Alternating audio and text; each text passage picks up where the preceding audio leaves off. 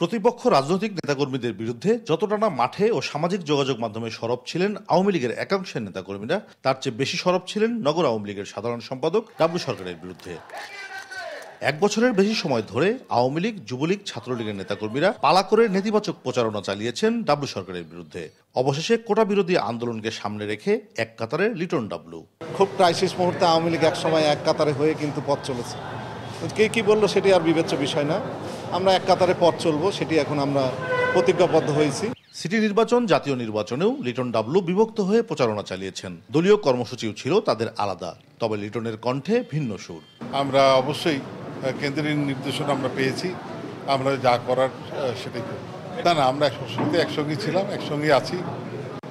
এটা বিচ্ছিন্ন কোনো ঘটনা নয়। দুই নেতার বিরুদ্ধে অস্বস্তিতে থাকা তৃণমূল নেতারা অবশ্য খুশি এই ঐক্যে। তারা বলছেন, আগামীর আন্দোলন সংগ্রামে উজ্জীবিত হবে দল।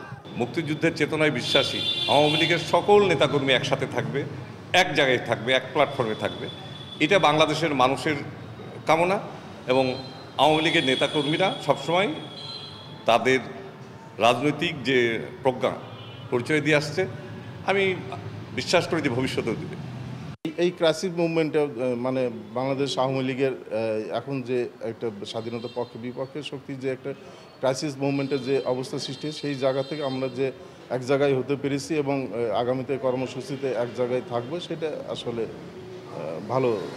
কোটা বিরোধী আন্দোলন ঘিরে লিটন ডাবলুর ঐক্য হলেও জেলার চার সংসদ সদস্যের সঙ্গে বিরোধ কীভাবে মেটে তা এখন দেখার অপেক্ষা।